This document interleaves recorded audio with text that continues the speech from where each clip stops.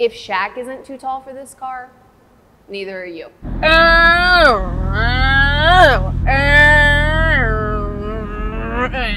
It's actually absurd how long it takes.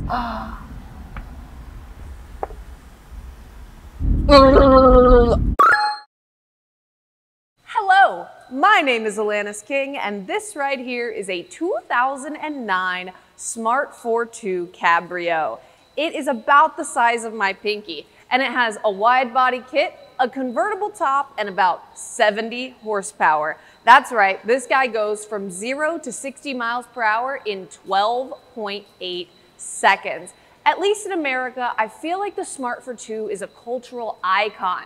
You can ask anybody if they know what a smart car is, and they do. And I cannot wait to teach you more about this car today. But first, if you like tiny cars with big cultural footprints, this Smart Fortwo Cabrio is now available on Cars and Bids. You can check out more photos, see the full spec list, or maybe even bid on it at the link in the description of this video. Before we get to this Smart Fortwo, let's talk about why it exists. Smart was born as a city car brand under Daimler, the parent company of Mercedes-Benz. The idea for Smart came around in 1972 when Daimler figured it was time to dream up a tiny, tiny, tiny car to help combat congestion and air pollution in cities.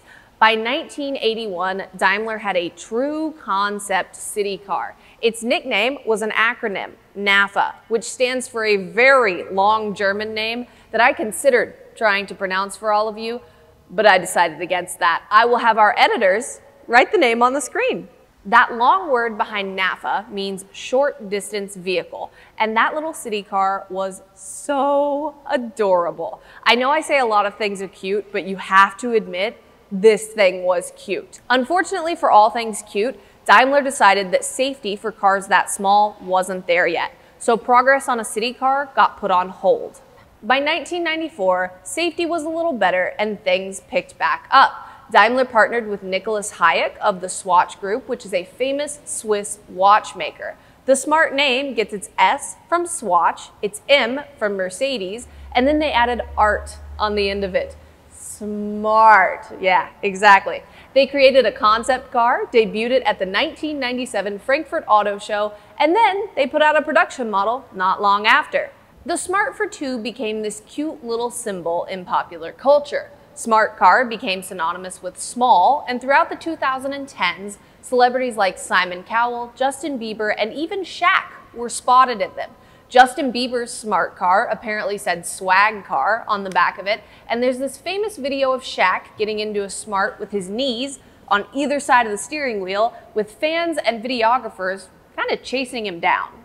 Throughout the 2000s and 2010s, Smart expanded to other things, like the Smart Crossblade, which you will recognize as Doug DeMuro's favorite car, the Smart Roadster, which is mine, the Smart Forfour, which is for four people instead of two, and eventually the Smart EQ electric nameplate. Smart left the American market in 2019 because we are all obsessed with trucks and SUVs, not tiny city cars like this. But you can still get Smart Fortwos like this one on the used market and the Smart Roadster will be available for import in 2028, which is so much sooner than you think.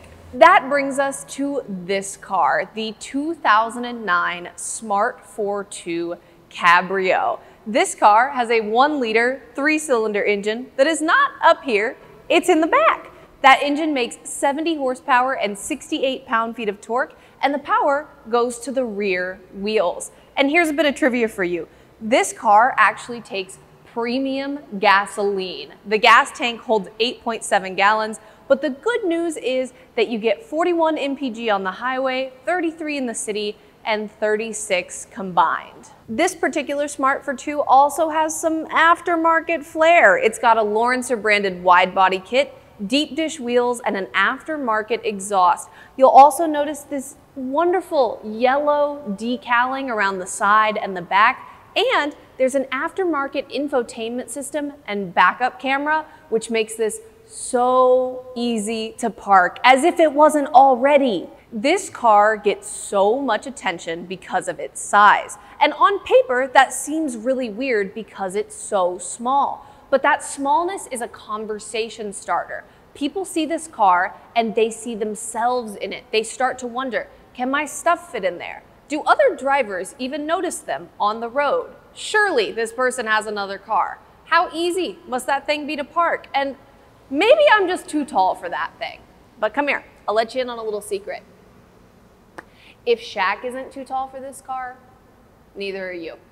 Because this car gets so much attention for its size, I figured it would be fun to measure it in Alanis units. I'm about five foot eight, so let's see how it compares. Game begin.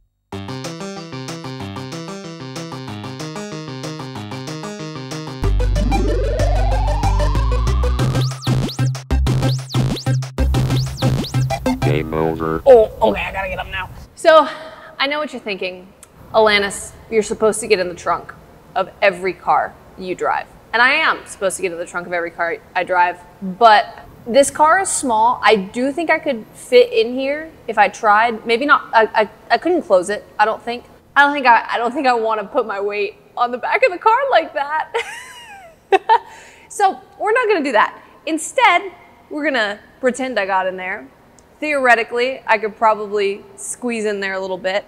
And I'm gonna show you how easy it is to access different parts of this car. So the cool thing about a Smart Fortwo is that everything is so easily accessible because this vehicle is so small. That includes the three cylinder engine. So you just lift up the little floor liner down here. There's a little twisty, twisty thingy right here. You twist it and you pull up the cover and you can see the engine. Whoa!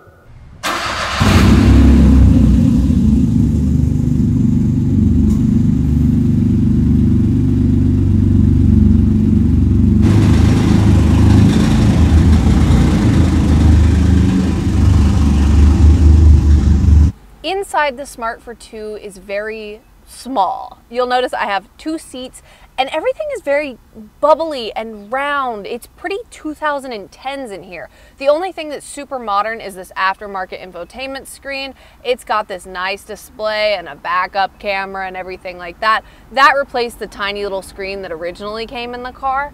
But you'll see that I have analog gauges and they stick out from the dashboard. It's really, really adorable. I have this tiny, tiny, tiny rear view mirror. And what's interesting is when you're sitting in this car, you're sitting up and looking down. That is likely has a lot to do with the fact that the engine is behind me. There's really nothing up here, so you just kind of stop. And so everything is right in front of you. It's actually pretty airy in here, even with the convertible top up. I think because everything is so upright, you just have a lot of window space, so it doesn't feel super cramped. Like I have plenty of arm room. I have a decent amount of leg room, not a ton. I mean, if you were super tall, it would it would be a tight squeeze. I'm five eight and a half ish, and my knees are like right here, but it's not bad. It's it's a decent amount of room. I can move my arms around. I have head space and things like that.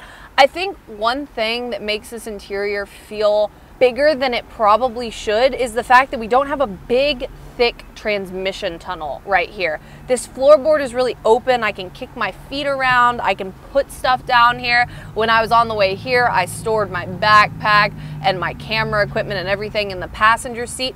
I had plenty of room to get that stuff here. It's a very, very nice, usable interior for what it is. Probably the most talked about mechanical feature of this car is its five speed automated manual transmission. It has this cute little tiny shifter right here. If I put my hand on top of it, I can pretty much completely obscure it from your view because it's so small.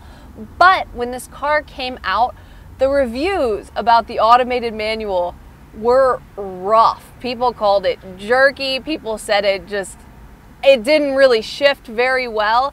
And I'm very interested to see how that holds up to 2023 standards because remember, people were saying that in 2009. So this is the Smart Fortwo Cabrio and I feel like if we're gonna take it for a drive, we need to go Cabrio mode here. So our ignition is down here.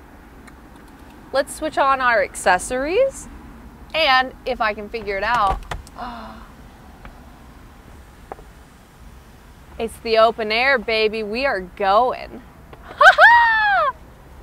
now, if you want to go fully open air, these panels actually come off and there's a dedicated storage spot for them in the back of the car. Folks, it is 90 degrees and 70% humidity in Houston, Texas right now. It is convertible weather. I am just loving it. I stick my hand out of this roof right now, and that air is not disgusting at all. It is not hot and wet at all. It's wonderful out here.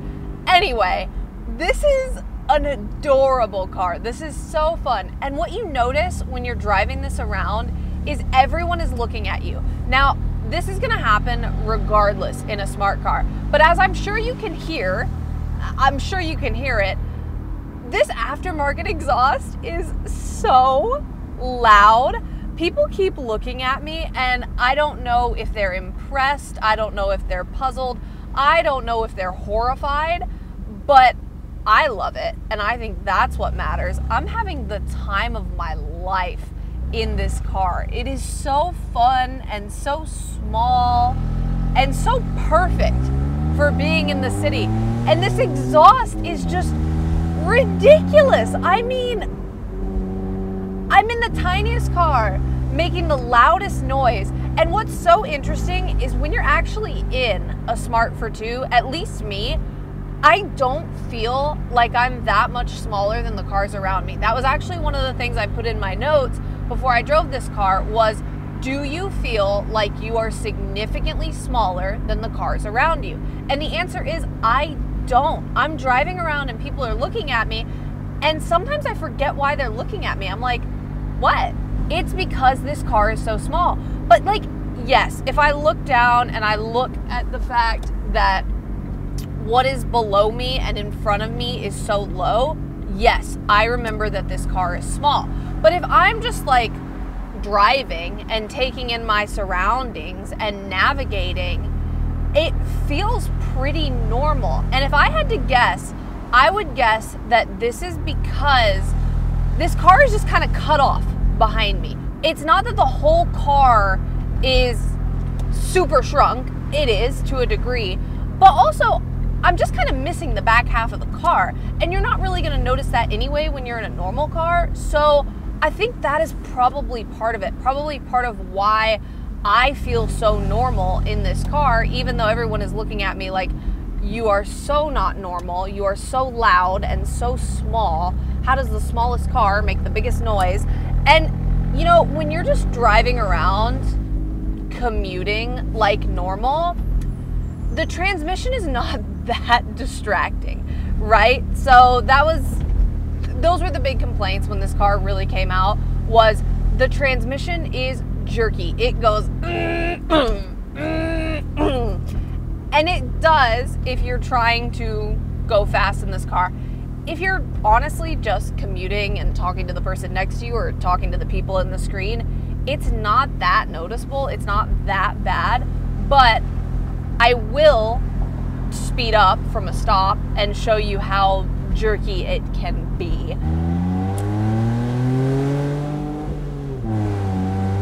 This car sounds so fast and it's so slow. I love it. It's just the weirdest, it's the weirdest juxtaposition.